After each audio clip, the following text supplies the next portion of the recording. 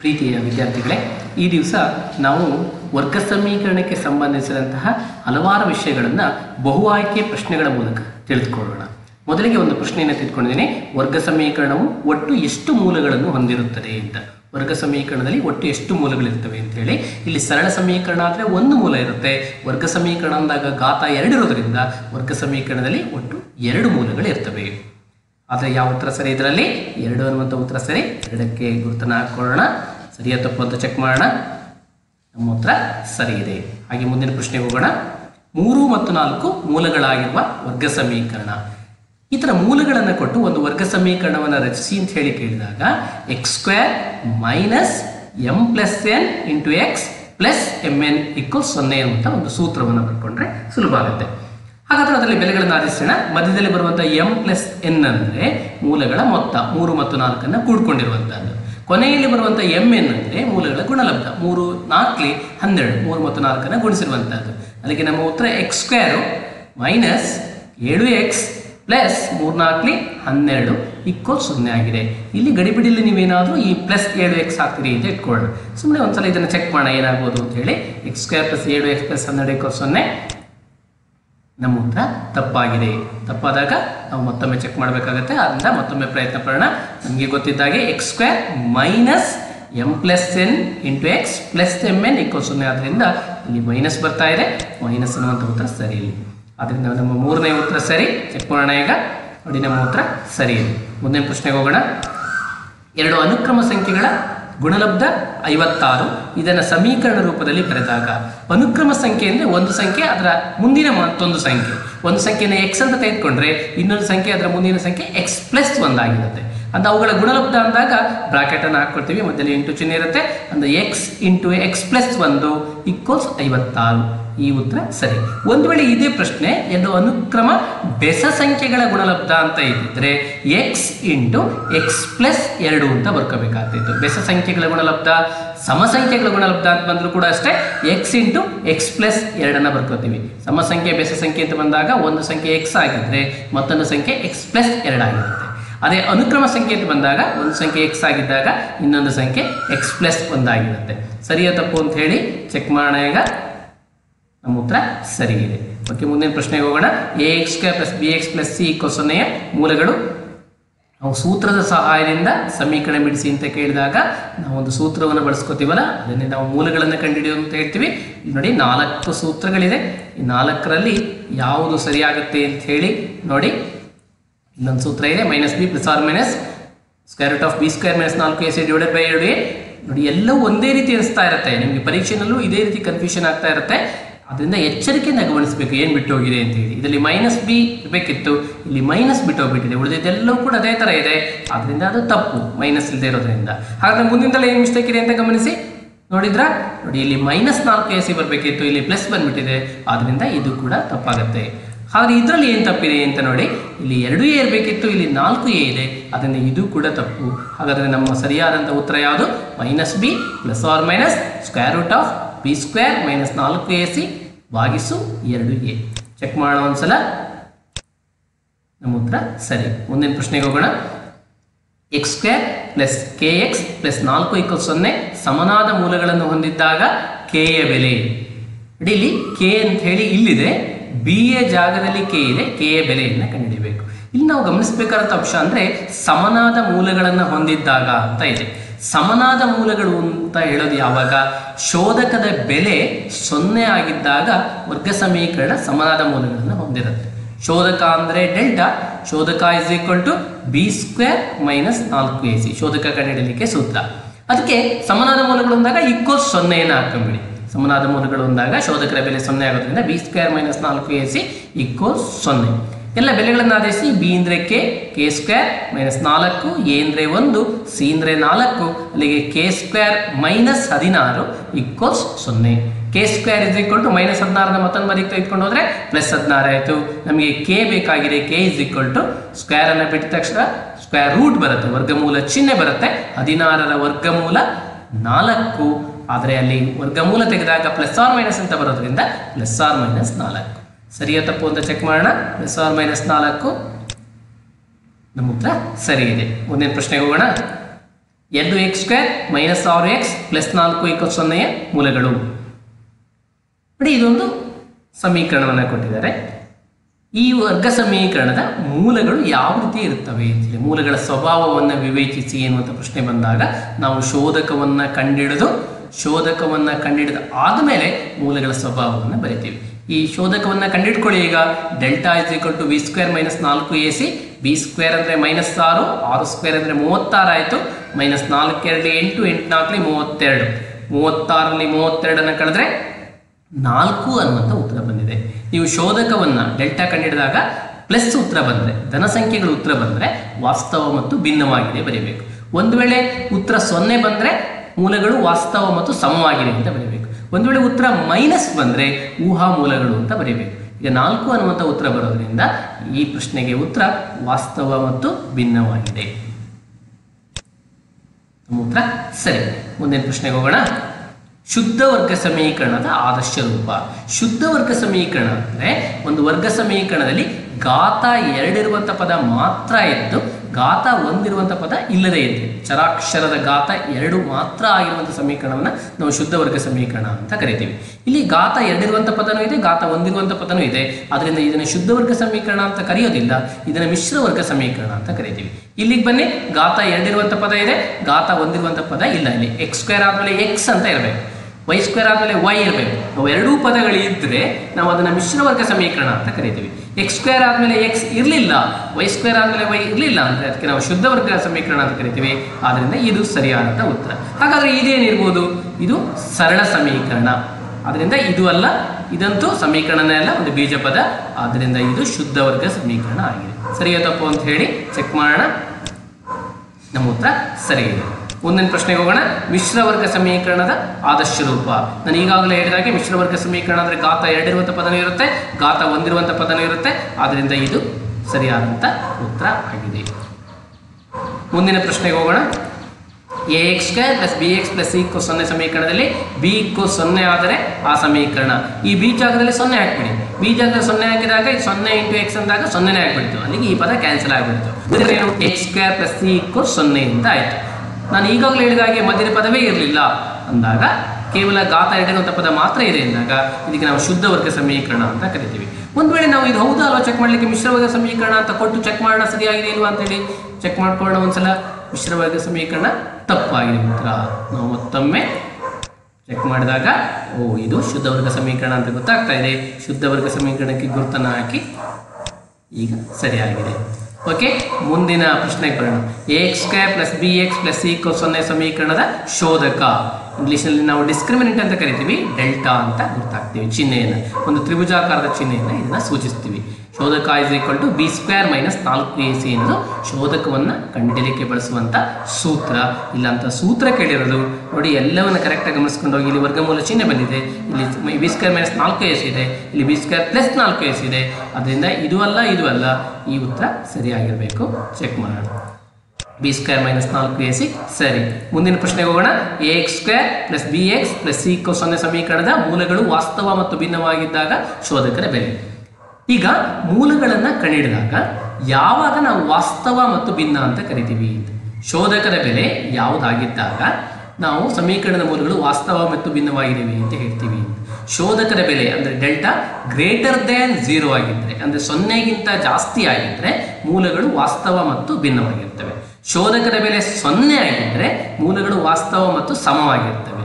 ಶೋಧಕದ ಬೆಲೆ ಸೊನ್ನೆಗಿಂತನೂ ಕಡಿಮೆ ಇದ್ದರೆ ಮೂಲಗಳು ಊಹಾ ಮೂಲಗಳಾಗಿರ್ತವೆ ಇಲ್ಲಿ ವಾಸ್ತವ ಮತ್ತು ಭಿನ್ನ ಅಂತ ಕೊಟ್ಟಿರೋದ್ರಿಂದ ಸೊನ್ನೆಗಿಂತ ಜಾಸ್ತಿನೇ ಆಗಿರಬೇಕು. ಆದ್ದರಿಂದ ಇದೇ ಉತ್ತರ ಆಗಿರಲೇಬೇಕು. ಚೆಕ್ ಮಾಡೋಣ. ಓಕೆ ನಮ್ಮ ಉತ್ತರ ಸರಿ ಇದೆ. ಮುಂದಿನ ಪ್ರಶ್ನೆಗೆ ಹೋಗೋಣ. X square plus b x plus c ಸೊನ್ನೆ ಸಮೀಕರಣದ ಮೂಲಗಳು ಊಹಾ ಮೂಲಗಳಾಗಿದ್ದಾಗ ಶೋಧಕರ ಬೆಲೆ ನಾನು ಈಗಾಗಲೇ ಹೇಳಿದಾಗೆ ಸೊನ್ನೆಗಿಂತ ಕಡಿಮೆ ಇದ್ದರೆ ಆಗ ಶೋಧಕರ ಬೆಲೆ ಸೊನ್ನೆಗಿಂತ ಕಡಿಮೆ ಇದ್ದಾಗ ಊಹಾ ಮೂಲಗಳಾಗಿರ್ತವೆ. ಇಲ್ಲಿ ಸೊನ್ನೆಗಿಂತ ಕಡಿಮೆ ಅನ್ನೋದನ್ನ ಯಾವುದು ಅಂತ ನೋಡಿ. ಈ ಚಿಹ್ನೆ ಕಡಿಮೆ ಚಿಹ್ನೆಯನ್ನು ಸೂಚಿಸುತ್ತೆ ಅಂದರೆ ಈ ಉತ್ತರಕ್ಕೆ ಗುರುತನ್ನು ಹಾಕಿ ಚೆಕ್ ಮಾಡೋಣ. ಉತ್ತರ ಸರಿ ಇದೆ. ಮುಂದಿನ ಪ್ರಶ್ನೆಗೆ ಹೋಗೋಣ. A x square plus b x plus c ಸೊನ್ನೆ ಸಮೀಕರಣದ ಮೂಲಗಳು ವಾಸ್ತವ ಮತ್ತು ಸಮವಾಗಿದ್ದಾಗ ಶೋಧಕರ ಬೆಲೆ. ನಾನು ಈಗಾಗಲೇ ಹೇಳಿದಾಗೆ ವಾಸ್ತವ ಮತ್ತು ಸಮ ಅಂತ ಬರೋದು. ಶೋಧಕದ ಬೆಲೆ ಸೊನ್ನೆ ಆಗಿದ್ದಾಗ. ಶೋಧಕರ ಬೆಲೆ ಸೊನ್ನೆಗೆ ಸಮನಾಗಿದ್ದಾಗ. ಆದ್ದರಿಂದ ಇಲ್ಲಿ ಸೊನ್ನೆ ಅಂತ ಇರೋದು ಇದಾದ್ರಿಂದ ಈ ಉತ್ತರವನ್ನು ತೆಗೆದುಕೊಳ್ಳೋಣ. ಉತ್ತರ ಸರಿ ಇದೆ. ಮುಂದಿನ ಪ್ರಶ್ನೆಗೆ ಹೋಗೋಣ. X k plus b x plus equal ಸೊನ್ನೆ ಸಮೀಕರಣದಲ್ಲಿ ಶೋಧಕದ ಬೆಲೆ ಸೊನ್ನೆಗಿಂತ ಜಾಸ್ತಿ ಆದರೆ greater than zero delta is greater than zero ಆದರೆ ಮೂಲಗಳು ಏನಾಗಿರ್ತವೆ ಅಂತ ಹೇಳಿ ಇಲ್ಲಿ ಯಾಕೆ ಬೇರೆ ಬೇರೆ ಪ್ರಶ್ನೆಗಳು, ಒಂದೇ ರೀತಿಯ ಪ್ರಶ್ನೆಗಳು ಹಲವಾರಿದೆ ಅಂದರೆ, ನೀವು ಇಂತಹ ಹಲವಾರು ಪ್ರಶ್ನೆಗಳನ್ನು ಪ್ರಾಕ್ಟೀಸ್ ಮಾಡಿದರೆ ನಿಮಗೆ ಕನ್ಫ್ಯೂಷನ್ ಆಗಲ್ಲ, ಯಾವುದೇ ರೀತಿಯ ಗೊಂದಲಗಳು ಇರೋದಿಲ್ಲ. ಅದರಿಂದ ಬೇರೆ ಬೇರೆ ರೀತಿಯ ಪ್ರಶ್ನೆಗಳನ್ನು ತೆಗೆದುಕೊಂಡು ನೀವು ಇದನ್ನು ಪರೀಕ್ಷಿಸ್ತಾ ಹೋಗಬೇಕಾಗತ್ತೆ. ಈಗ ಡೆಲ್ಟಾ ಗ್ರೇಟರ್ ದ್ಯಾನ್ ಝೀರೋ ಅಂದಾಗ, ಶೋಧಕದ ಬೆಲೆ ಸೊನ್ನೆಗಿಂತ ಜಾಸ್ತಿ ಇದೆ ಹೇಳಿ ಕೊಟ್ಟಿರೋದ್ರಿಂದ ಮೂಲಗಳು ಭಿನ್ನವಾಗಿರ್ತವೆ. ಉತ್ತರ ಸರಿ ಇದೆ ಓಕೆ? ಮುಂದಿನ ಪ್ರಶ್ನೆಗೆ ಹೋಗೋಣ. A x square plus b x plus equal ಸೊನ್ನೆ ಸಮೀಕರಣದಲ್ಲಿ ಡೆಲ್ಟಾ ಲೆಸ್ ದ್ಯಾನ್ ಝೀರೋ ಸೊನ್ನೆಗಿಂತ ಚಿಕ್ಕದಾಗಿದ್ದರೆ ಶೋಧಕದ ಬೆಲೆ ಸೊನ್ನೆಗಿಂತ ಚಿಕ್ಕದಾಗಿದ್ದರೆ ಮೂಲಗಳೇನಾಗಿರ್ತವೆ? ನಾನು ಈಗಾಗಲೇ ಹೇಳಿದ ಹಾಗೆ ಊಹಾ ಮೂಲಗಳಾಗಿರ್ತವೆ ಊಹಾ ಮೂಲಗಳಿಗೆ ಗುರುತನ್ನು ಹಾಕೊಳ್ಳೋಣ. ಸರಿ, ಇದೆ. ಮುಂದಿನ ಪ್ರಶ್ನೆಗೆ ಹೋಗೋಣ. A x square plus b x plus equal ಸೊನ್ನೆ ಸಮೀಕರಣದಲ್ಲಿ ಶೋಧಕರ ಬೆಲೆ ಸೊನ್ನೆ ಆಗಿದ್ದರೆ ಮೂಲಗಳೇನಾಗಿರ್ತವೆ? ನೋಡೋಣ, ನೀವೇ ಹೇಳೋಕ್ಕಿಟ್ಟರೆ ಟ್ರೈ- ಪ್ರಯತ್ನ ಪಡಿ ಇವಿಷ್ಟರಲ್ಲಿ ಯಾವುದಾಗುತ್ತೆ ಅಂತ ಹೇಳಿ. ನಾನು ಈಗಾಗಲೇ ಒಂದು ಎರಡು ಸಲ ಹೇಳಿದೆ, ಭಿನ್ನವಾಗಿರುತ್ತವೆ, ಸಮವಾಗಿರುತ್ತವೆ, ಊಹಾ ಮೂಲಗಳು, ಧನ ಮೂಲಗಳು ಯಾವುದಾಗಿರ್ಬೋದು ಅಂತ. ಸರಿ, ನೀವು ಹೇಳ್ತಾ ಇರುವಂತಹ ಸರಿ ಉತ್ತರ, ಸಮವಾಗಿರುತ್ತವೆ ಅನ್ನೋದು ಸರಿ ಸಮವಾಗಿರುತ್ತವೆ ಅನ್ನೋದಕ್ಕೆ ಗುರುತನ್ನು ಹಾಕೊಳ್ಳೋಣ. ನಮ್ಮ ಉತ್ತರ ಸರಿ. ಮುಂದಿನ ಪ್ರಶ್ನೆಗೆ ಹೋಗೋಣವೇ ಎರಡು ಎಕ್ಸ್ ಸ್ಕ್ವೇರ್ ಪ್ಲಸ್ ಮೂರು ಎಕ್ಸ್ ಮೈನಸ್ ಎರಡು ಇಕ್ಕೋ ಸೊನ್ನೆ ವರ್ಗ ಸಮೀಕರಣದಲ್ಲಿ ಶೋಧಕದ ಬೆಲೆ. ಶೋಧಕದ ಬೆಲೆಯನ್ನು ನಾವು ಕಂಡುಹಿಡಬೇಕಾಗಿದೆ ಶೋಧಕದ ಬೆಲೆಯನ್ನು ಕಂಡುಹಿಡಬೇಕಾದ್ರೆ ನಾನು ಈಗಾಗಲೇ ಹೇಳಿದಾಗೆ ಬಿ ಸ್ಕ್ವೇರ್ ಮೈನಸ್ ನಾಲ್ಕು ಎ ಸಿ ಎನ್ನುವಂಥ ಸೂತ್ರವನ್ನು ಹಾಕಬೇಕು. ಇಲ್ಲಿ ಎ ಅಂದರೆ ಎರಡು ಬಿ ಅಂದರೆ ಮೂರು ಸಿ ಅಂದರೆ ಮೈನಸ್ ಎರಡು. ಅಲ್ಲಿ ಬಿ ಸ್ಕ್ವೇರ್ ಅಂದರೆ ಮೂರು ಸ್ಕ್ವೇರು ಮೈನಸ್ ನಾಲ್ಕು ಎ ಅಂದರೆ ಎರಡು ಸಿ ಅಂದರೆ ಮೈನಸ್ ಎರಡು. ಅಲ್ಲಿಗೆ ನಾಲ್ಕೆರಡಲಿ ಎಂಟು ಎಂಟೆರಡಲಿ ಹದಿನಾರು. ಫಸ್ಟ್ ಒಂಬತ್ತು ಬಂದಿತ್ತು, ಒಂಬತ್ತು ಮೈನಸ್ ಮೈನಸ್ ಹದಿನಾರು. ಹದಿನಾರಕ್ಕೆ ಒಂಬತ್ತನ್ನು ಕೂಡಿದಾಗ ಇಪ್ಪತ್ತೈದು ಆಗ್ತಾ ಇದೆ. ಅದನ್ನ ಇಪ್ಪತ್ತೈದು ಅನ್ನುವಂಥ ಉತ್ತರ ಸರಿ. ಚೆಕ್ ಮಾಡೋಣ. ಇಪ್ಪತ್ತೈದು ಅನ್ನುವಂಥ ಉತ್ತರ ಸರಿ ಇದೆ. ಓಕೆ ಮುಂದಿನ ಪ್ರಶ್ನೆ ಹೋಗೋಣ ಎಕ್ಸ್ ಸ್ಕ್ವೇರ್ ಪ್ಲಸ್ ಒಂದು ಈಕ್ವಲ್ಸ್ ಮೂವತ್ತೇಳು ಸಮೀಕರಣದಲ್ಲಿ ಎಕ್ಸ್ನ ಬೆಲೆ ಎಷ್ಟು? ಇದು ನೋಡಿ ಶುದ್ಧ ವರ್ಗ ಸಮೀಕರಣ. ಎಕ್ಸ್ ಸ್ಕ್ವೇರ್ ಆದಮೇಲೆ ಎಕ್ಸ್ ಅನ್ನುವಂಥ ಪದ ಇಲ್ಲ, ಇದು ಶುದ್ಧ ವರ್ಗ ಸಮೀಕರಣ. ಶುದ್ಧ ವರ್ಗ ಸಮೀಕರಣ ಬಂದಾಗ ಬಿಡಿಸೋದು ಸುಲಭ. ಎಕ್ಸ್ ಸ್ಕ್ವೇರ್ ಅಂತಿದೆಯಲ್ವಾ? ಈ ಪದವನ್ನು ಉಳಿಸ್ಕೊಳ್ಳಿ. ನಮಗೆ ಎಕ್ಸ್ ಬೆಲೆ ಬೇಕಾಗಿರೋದ್ರಿಂದ. ಈ ಪ್ಲಸ್ ಒಂದನ್ನು ಮತ್ತೊಂದು ಬರೀತು ಇಟ್ಕೊಂಡು ಹೋಗಿ ಒಂದು ಕಡೆಯಿಂದ ಮತ್ತೊಂದು ಕಡೆಗೆ ಹೋದಾಗ ಚಿಹ್ನೆ ಚೇಂಜ್ ಆಗುತ್ತೆ. ಅಂದರೆ x square is equal to ಮೂವತ್ತೇಳು ಪ್ಲಸ್ ಒಂದನ್ನು ಆ ಕಡೆಗೆ ಇಟ್ಕೊಂಡು ಹೋದಾಗ ಮೂವತ್ತೇಳು ಮೈನಸ್ ಒಂದು ಆಯಿತು. ಮೂವತ್ತೇಳರಲ್ಲಿ ಒಂದು ಕಳೆದ್ರೆ ಮೂವತ್ತ ಆರು ಬಂತು. ನೀವೆಲ್ಲ ಗಡಿಬಿಡಿನಲ್ಲಿ ಮೂವತ್ತಾರು ಉತ್ತರ ಹಾಕಿಬಿಡ್ತೀರಿ. ಅಂದರೆ ಮೂವತ್ತಾರು ಅಲ್ಲ, ಯಾಕೆಂದರೆ ಇಲ್ಲಿ ಎಕ್ಸ್ ಸ್ಕ್ವೇರ್ ಇದೆ. ನಮಗೆ ಬೇಕಾಗಿರುವಂಥದ್ದು ಎಕ್ಸ್ ಮಾತ್ರ. ಅದನ್ನ ಸ್ಕ್ವೇರ್ ಅನ್ನು ಬಿಟ್ಬಿಡಿ. ಒಂದು ಬದಿಯಲ್ಲಿ ಸ್ಕ್ವೇರ್ ಬಿಟ್ಟರೆ ಮತ್ತೊಂದು ಬದಿಯಲ್ಲಿ ಸ್ಕ್ವೇರ್ ರೂಟ್ ಬರುತ್ತೆ. ವರ್ಗಮೂಲ ಚಿಹ್ನೆ ಬರುತ್ತೆ. ಮೂವತ್ತಾರರ ವರ್ಗಮೂಲ ಆರು. ಆದರೆ ವರ್ಗ ಸಮೀಕರಣ ಆದ್ದರಿಂದ ಅಲ್ಲಿ ಪ್ಲಸ್ ಆರ್ ಮೈನಸ್ ಅಂತ ಬರೀಲೇಬೇಕಾಗುತ್ತೆ. ಪ್ಲಸ್ ಆರ್ ಮೈನಸ್ ಆರು. ಸರಿ ಇದೆ. ಮುಂದಿನ ಪ್ರಶ್ನೆಗೆ ಹೋಗೋಣ. ವರ್ಗ ಸಮೀಕರಣ ಎಕ್ಸ್ ಸ್ಕ್ವೇರ್ ಮೈನಸ್ ಏಳು ಎಕ್ಸ್ ಪ್ಲಸ್ ಹನ್ನೆರಡು ಇಕ್ಕು ಸೊನ್ನೆಯ ಮೂಲಗಳು. ನೋಡಿ, ಇದೊಂದು ವರ್ಗ ಸಮೀಕರಣ. ಇದು ಮಿಶ್ರ ವರ್ಗ ಸಮೀಕರಣ. ಈ ಸಮೀಕರಣವನ್ನು ಬಿಡಿಸ್ಬೇಕು. ಮೂಲಗಳನ್ನು ಕಂಡುಹಿಡಿಯೋದು ಅಂದರೆ ಸಮೀಕರಣ ಬಿಡಿಸ್ಬೇಕು. ಸಮೀಕರಣ ಬಿಡಿಸ್ಬೇಕಾದ್ರೆ ಹಲವಾರು ವಿಧಾನಗಳಿದೆ. ಒಂದು ಅಪವರ್ತನ ವಿಧಾನ ಇದೆ. ಸೂತ್ರದ ಸಹಾಯದಿಂದ ಬಿಡಿಸ್ಬೋದು. ವರ್ಗ ಪೂರ್ಣಗೊಳಿಸಿ ಬಿಡಿಸ್ಬೋದು. ನಕ್ಷೆಯ ಸಹಾಯದಿಂದ ಬಿಡಿಸ್ಬೋದು. ಇಂಥ ಹಲವಾರು ವಿಧಾನಗಳಲ್ಲಿ ಅಪವರ್ತನ ವಿಧಾನ ತುಂಬ ಸುಲಭವಾದ ವಿಧಾನ. ಅದರಲ್ಲಿ ಈಗ ನಮಗೆ ನಾಲ್ಕು ಸ್ಟೆಪ್ ಬೇಡ. ಎರಡು ಸ್ಟೆಪ್ನಲ್ಲಿ ನಾವು ಉತ್ತರನ ಕಂಡುಹಿಡಿಬೇಕು. ಹೇಗಪ್ಪ ಅಂದರೆ, ಈ ತುದಿಯನ್ನು ಈ ತುದಿಯನ್ನು ಗುಣಿಸಿ ಬರ್ಕೊಳ್ಳೋಣ. ಹನ್ನೆರಡಿದೆ ಇಲ್ಲಿ ಏನೂ ಇಲ್ಲ ಅಂದರೆ ಒಂದಿದೆ. ಹನ್ನೆರಡು ಅಂತ ಆಯ್ತು ಗುಣಿಸಿದಾಗ. ಗುಣಿಸಿದ್ರೆ ಹನ್ನೆರಡು ಬರಬೇಕು. ಕೂಡಿದ್ರೆ ಅಥವಾ ಕಳೆದ್ರೆ ಮದ್ದಿದ್ದು ಮೈನಸ್ ಏಳು ಬರಬೇಕು. ಯಾವುದೇನಾಗುತ್ತೆ ಏಳು ಬರುವಂಥದ್ದು ಅಂತ ನೋಡಿ. ನಾಲ್ಕು ಮೂರ್ಲಿ ಹನ್ನೆರಡು ಸರಿ ಆಗುತ್ತೆ. ನಾಲ್ಕಕ್ಕೆ ಮೂರನ್ನು ಕೂಡಿದ್ರೆ ಏಳು ಬರುತ್ತೆ. ಹಾಗಾದ್ರೆ ನಾಲ್ಕಕ್ಕೆ ಮೂರನ್ನು ನಾಲ್ಕು ಮೂರು ಅಂತ ಬರೆದ್ರೆ ಉತ್ತರ ಸರಿನಾ? ಈ ಉತ್ತರ ಸರಿ ಇರ್ಬೋದಾ? ನಾಲ್ಕು ಮೂರು ಕೂಡಿದ್ರೆ ಏಳಾಗುತ್ತೆ. ಅದು ನಮ್ಗೆ ಇಲ್ಲಿ ಬರಬೇಕಾಗಿದ್ದೇನು? ಮೈನಸ್ ಸೇರಬೇಕಾಗಿದೆ. ಬೇಕಾಗಿದೆ ಅಂದ್ರೆ ಬರೀ ಮೂರು ನಾಲ್ಕು ಅಲ್ಲ, ಅದಕ್ಕೆ ಮೈನಸ್ ಕೂಡ ಸೇರಬೇಕು. ಒಂದು ಉತ್ತರ, ಅಂದ್ರೆ ಒಂದು ಮೂಲ ಮೈನಸ್ ಮೂರು, ಮತ್ತೊಂದು ಮೂಲ ಮೈನಸ್ ನಾಲ್ಕು ಅಂತ ನೀವು ತಿಳ್ಕೊಂಡಿದ್ರೆ ಅದು ತಪ್ಪಾಗ್ಬಿಡುತ್ತೆ. ಇಲ್ಲಿ ಮೈನಸ್ ಮೂರು, ಮೈನಸ್ ನಾಲ್ಕು. ಗುಣಿಸಿದ್ರೆ ಹನ್ನೆರಡು, ಕೂಡಿದ್ರೆ ಅಥವಾ ಕಳೆದ್ರೆ ಮೈನಸ್ ಏಳು ಬರುವಂಥದ್ದು ಮೈನಸ್ ಮೂರು, ಮೈನಸ್ ನಾಲ್ಕು ಅಂತ ಬರ್ಕೊಳ್ತೀವಿ ಇಲ್ಲಿ ಯಾವ ಎರಡು ಸಂಖ್ಯೆಗಳನ್ನು ಬರೀತೀರೋ, ಅದರ ಚಿಹ್ನೆಗಳನ್ನು ಬದಲಾಯಿಸಿ ಬರೆದ್ರೆ ಅದು ವರ್ಗ ಸಮೀಕರಣದ ಮೂಲಗಳಾಗಿರ್ತವೆ ನೀವು ನಾಲ್ಕು ಸ್ಟೆಪ್ ಲೆಕ್ಕ ಮಾಡ್ದೇನೆ ಸುಲಭವಾಗಿ ಉತ್ತರನ ಹೇಳ್ಬಿಡ್ಬೋದು. ಹನ್ನೆರಡು ಬರ್ಕೊಳ್ಳಿ. ಕೆಳಗಡೆ ಎರಡು ಗೆರೆ ಹಾಕಿ. ಎಷ್ಟು ಬರುತ್ತೆ ಅಂತ ನೋಡಿ. ಮೈನಸ್ ಮೂರು, ಮೈನಸ್ ನಾಲ್ಕು ಬಂದಿದೆ. ಇಲ್ಲಿ ಏನು ಬರ್ಕೊಂಡಿರ್ತಾರೆ ಎರಡು ಸಂಖ್ಯೆ? ಅದರ ವಿರುದ್ಧ ಚಿಹ್ನೆಗಳನ್ನು ಬರೆದ್ರೆ ಅದು ಸಮೀಕರಣದ ಮೂಲಗಳಾಗಿರ್ತವೆ ಅಲ್ಲಿಗೆ. ಇಲ್ಲಿ ಮೈನಸ್ ಮೂರು ಮೈನಸ್ ನಾಲ್ಕು ಇರೋದ್ರಿಂದ ಅದರ ವಿರುದ್ಧ ಚಿಹ್ನೆಗಳು ಪ್ಲಸ್ ಮೂರು ಪ್ಲಸ್ ನಾಲ್ಕು. ಅದು ಉತ್ತರ ಆಗಿದೆ. ಇದು ನಾನು ಇರೋದು ಯಾವಾಗ? ಇಲ್ಲಿ ಎಕ್ಸ್ ಸ್ಕ್ವೇರ್ನ ಸಹಗುಣಕ ಒಂದು ಆಗಿದ್ದಾಗ. ಎಕ್ಸ್ ಸ್ಕ್ವೇರ್ನ ಸಹಗುಣಕ ಒಂದಾಗಿದ್ದಾಗ ನಾವು ಕೇವಲ ಒಂದೇ ಒಂದು ಸ್ಟೆಪ್ನಲ್ಲಿ ಉತ್ತರವನ್ನು ಕಂಡುಹಿಡಿಯಬಹುದು. ಮುಂದಿನ ಪ್ರಶ್ನೆಗೆ ಹೋಗೋಣ. ಈ ಪ್ರಶ್ನೆಯ ಉತ್ತರ ಯಾವುದೀಗ? ಮೂರು ಮತ್ತು ನಾಲ್ಕು. ನಿಮ್ಗೆ ಏನಾದ್ರು ಡೌಟ್ ಇದ್ದು ಮೈನಸ್ ಮೂರು ಮತ್ತು ಮೈನಸ್ ನಾಲ್ಕು ಆದರೆ ಒಂದ್ಸಲ ಚೆಕ್ ಮಾಡ್ಕೊಳ್ಳಿ. ಮೈನಸ್ ಮೂರು ಮತ್ತು ಮೈನಸ್ ನಾಲ್ಕು ಕೊಟ್ಟು ಇಲ್ಲ, ಈ ಉತ್ತರ ತಪ್ಪಾಗಿದೆ. ಮತ್ತೊಮ್ಮೆ ಪ್ರಯತ್ನವನ್ನು ಪಡೋಣ. ಅದೇ ಮೂರು ಮತ್ತು ನಾಲ್ಕು ಅನ್ನುವಂಥದ್ದು ಸರಿಯಾದಂಥ ಉತ್ತರ. ಈಗ ಮುಂದಿನ ಪ್ರಶ್ನೆಗೆ ಬರೋಣ. ಕೆಳಗಿನವುಗಳಲ್ಲಿ ಯಾವುದು ವರ್ಗ ಸಮೀಕರಣವಾಗಿದೆ ಅಂತ. ವರ್ಗ ಸಮೀಕರಣ ಅಂದಾಗ ಘಾತ ಎರಡಿರಬೇಕು ಘಾತ ಮೂರು ಇರಬಾರ್ದು. ಘಾತ ಎರಡಿರುವಂಥ ಪದ ಇರಲೇಬೇಕು ನಮಗೆ. ಕೊನೆಯಿಂದ ಈಗ. ಇಲ್ಲೂ ಎಕ್ಸ್ ಸ್ಕ್ವೇರ್ ಇದೆ, ಇಲ್ಲೂ ಎಕ್ಸ್ ಸ್ಕ್ವೇರ್ ಇದೆ. ಅದರ ಎಡಭಾಗ ಬಲಭಾಗ ಕ್ಯಾನ್ಸಲ್ ಆಗಿ ಕೊನೆಗೆ ಐದು ಇಕ್ವಲ್ ಸೊನ್ನೆ ಅಂತ ಉಳಿಯೋದ್ರಿಂದಾಗಿ ಇದು ವರ್ಗ ಸಮೀಕರಣ ಆಗೋದಿಲ್ಲ. ಘಾತ ಎರಡಿರುವಂಥ ಪದ ಬೇಕೇ ಬೇಕು ನಮಗೆ. ಚರಾಕ್ಷರದ ಘಾತ ಎರಡಿರುವಂಥ ಪದ ಬೇಕು, ಇದಲ್ಲ. ಹಾಗಾದ್ರೆ ಇದೇನಾಗಿದೆ? ಇಲ್ಲಿ ಘಾತ ಮೂರಿದೆ. ಘಾತ ಮೂರು ಕೂಡ ಇರೋದಿಲ್ಲ. ಇದನ್ನ ಘನ ಸಮೀಕರಣ ಅಂತ ಕರಿತೀವಿ. ಇದು ವರ್ಗ ಸಮೀಕರಣ ಅಲ್ಲ. ಹಾಗಾದ್ರೆ ನೆಕ್ಸ್ಟ್ ಸಮಯಕ್ಕೆ ಬಂದ್ರೆ ಇಲ್ಲಿ ಘಾತ ಎರಡಿರುವಂಥ ಪದವೇ ಇಲ್ಲ. ಇದನ್ನ ರೇಖಾತ್ಮಕ ಸಮೀಕರಣ ಅಂತ ಕರಿತೀವಿ. ಸರಳ ರೇಖಾತ್ಮಕ ಸಮೀಕರಣ ಅಂತ ಇದು ಕೂಡ ಅಲ್ಲ. ಹಾಗಾದ್ರೆ ಇದಾಗಲೇಬೇಕು. ಆದ್ರೆ ಇಲ್ಲೆಲ್ಲೂ ಗಾತ ಎರಡು ಕಾಣಿಸ್ತಾ ಇಲ್ಲಲ್ಲ. ಬ್ರಾಕೆಟ್ ಇದೆ ಅಂದರೆ ಗುಣಿಸ್ಕೋಬೇಕು ಎಕ್ಸ್ ಇಂಟು ಎಕ್ಸ್ ಅಂದರೆ ಎಕ್ಸ್ ಸ್ಕ್ವೇರ್ ಆಯಿತು. X in plus x into ಮೂರು ಅಂದರೆ ಮೂರು ಎಕ್ಸ್ ಆಯಿತು. ಇಸ್ ಈಕ್ವಲ್ ಟು ಐದು. ಇದೇನಾಗುತ್ತೆ ಅಂದರೆ ಸುಲಭ ರೂಪಕ್ಕೆ ತಂದಾಗ ಎಕ್ಸ್ ಸ್ಕ್ವೇರ್ ಪ್ಲಸ್ ಮೂರು ಎಕ್ಸ್ ಇಸ್ ಈಕ್ವಲ್ ಟು ಐದು ಅಂತ ಬರೋದ್ರಿಂದ ಇಲ್ಲಿ ಎಕ್ಸ್ ಸ್ಕ್ವೇರ್ ಅಂತ ಪದ ಬಂದಿರೋದ್ರಿಂದ ಇದು ವರ್ಗ ಸಮೀಕರಣ ಆಗಿದೆ. ಚೆಕ್ ಮಾಡೋಣ. ಸರಿ, ಮುಂದಿನ ಪ್ರಶ್ನೆಗೆ ಹೋಗೋಣ. ವರ್ಗ ಸಮೀಕರಣ ಎಕ್ಸ್ ಸ್ಕ್ವೇರ್ ಮೈನಸ್ ನಾಲ್ಕು ಈಕ್ವಲ್ ಸೊನ್ನೆಯ ಮೂಲಗಳು. ನೋಡಿ, ಇದು ನಾನು ಈಗಾಗಲೇ ಹೇಳಿದಾಗ ಇದೊಂದು ಶುದ್ಧ ವರ್ಗ ಸಮೀಕರಣ. ಬಿಡಿಸೋದು ಬಹಳ ಸುಲಭ. ಎಕ್ಸ್ ಸ್ಕ್ವೇರ್ ಅನ್ನು ಉಳಿಸ್ಕೊಂಬಿಡಿ. ನಮ್ಗೆ ಮೈನಸ್ ನಾಲ್ಕು ಬೇಡ ಮೈನಸ್ ನಾಲ್ಕನ್ನ ಮತ್ತೊಂದು ಬದಿಗೆ ತೆಗೆದುಕೊಂಡು ಹೋಗಿ ಅದು ಪ್ಲಸ್ ನಾಲ್ಕು ಆಯಿತು. ಅಲ್ಲಿಗೆ x square is equal to ನಾಲ್ಕು ಅಂತ ಆಯಿತು. ಅಂತ ನಾಲ್ಕು ಮತ್ತು ಮೈನಸ್ ನಾಲ್ಕು ಉತ್ತರ ಅಲ್ಲ. ನಾವು ಬಂದಿರೋದು ಎಕ್ಸ್ ಸ್ಕ್ವೇರ್ ನಮಗೆ ಎಕ್ಸ್ ಸ್ಕ್ವೇರ್ ಬೇಡ ಎಕ್ಸ್ ಬೇಕಾಗಿದೆ. ಎಕ್ಸನ್ನು ಉಳಿಸ್ಕೊಂಡಾಗ ಇಲ್ಲಿ ವರ್ಗಮೂಲ ಚಿಹ್ನೆ ಸ್ಕ್ವೇರ್ ರೂಟ್ ಬರುತ್ತೆ ಬಲಭಾಗದಲ್ಲಿ. ಒಂದು ಕಡೆ ಸ್ಕ್ವೇರ್ ಬಿಟ್ಟರೆ ಮತ್ತೊಂದು ಕಡೆ ಸ್ಕ್ವೇರ್ ರೂಟ್ ಬರುತ್ತೆ. ವರ್ಗ ಬಿಟ್ಟಾಗ ವರ್ಗಮೂಲ ಚಿಹ್ನೆ ಬರುತ್ತೆ.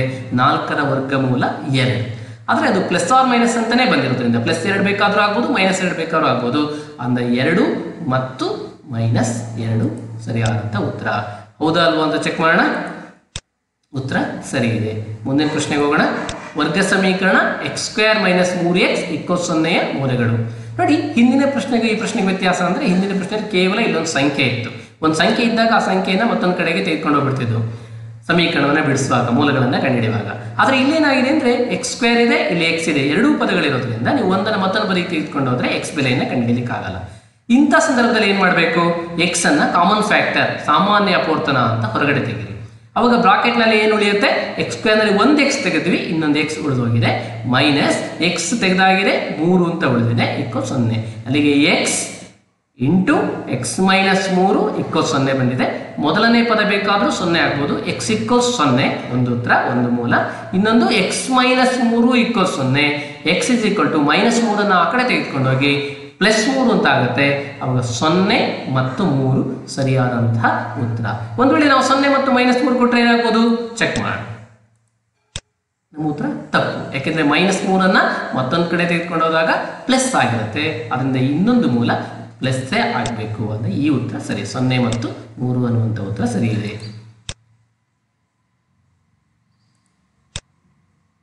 ಎಲ್ಲರಿಗೂ ಶುಭವಾಗಲಿ. ಧನ್ಯವಾದಗಳು.